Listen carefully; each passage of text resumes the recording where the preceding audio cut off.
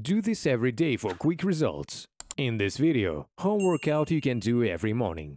Full body workout, plank knee ins, shoulder taps, toe crossovers, heel touches, mountain climber, ab crunch, extended plank ups, hard level.